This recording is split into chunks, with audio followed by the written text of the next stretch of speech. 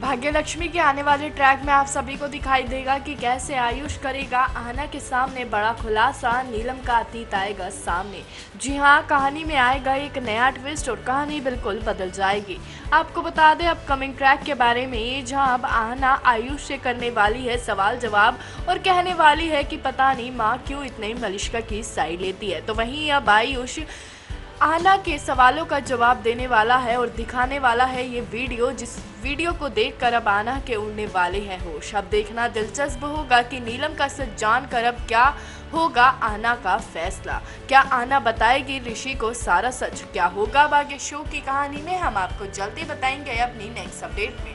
तो तब तक करें इंतज़ार और बने रहिए हमारे साथ। और आज ही हमारे चैनल को सब्सक्राइब करें।